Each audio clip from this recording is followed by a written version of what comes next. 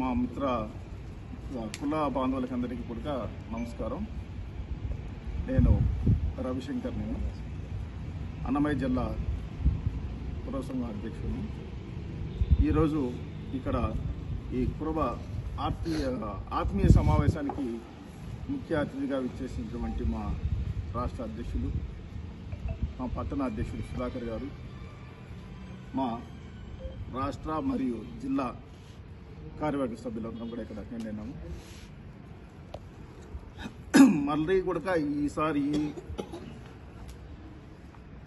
ఈ- టర్మ్ గుడక మేము మా అధ్యక్షుడు శ్రీనివాస గారిని కంటిన్యూ చేయాలనేసి మన మీటింగ్లో నిర్ణయించుకోవడం జరిగింది. ఈ బైఫర్గేషన్ జరిగిన తర్వాత ఎన్నుకోబడినటువంటి మా సంఘ ఎన్నికల్లో శ్రీనివాస గారు వచ్చిన తర్వాత మా కురవుల్లో చాలా వరకు చైతన్యం వచ్చింది. ఆ క్రమంలో భాగంగా అనంతపూర్లో రాజకీయంగా చాలా ముందుకు వచ్చేసారు దీనికంతటికే కారణం పక్క రాష్ట్రమైనటువంటి కర్ణాటక స్ఫూర్తి తీసుకున్నాం.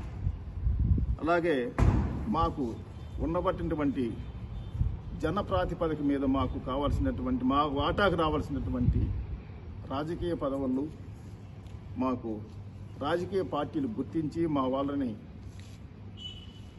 మా వాళ్ళకి కావాల్సినటువంటి పదవులకి వాళ్ళు సపోర్ట్ చేస్తే మేము కూడా ఆ ప్రభుత్వాన్ని గుర్తించి వాళ్ళకు కూడా మేము సపోర్ట్ చేయగలం.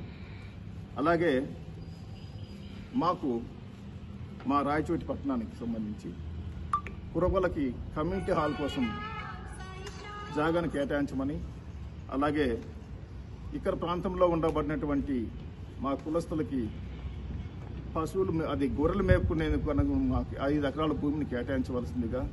అలాగే ఈ మదనపల్లె రింగ్ రోడ్లో కనకదాస విగ్రహం నిలబెట్టి దీన్ని కనకదాస సర్కిల్గా ఏర్పరిచి డిక్లేర్ చేయాలని చెప్పేసి మేము ఈ ప్రభుత్వాన్ని మా ద్వారా కోరుకుంటున్నాం.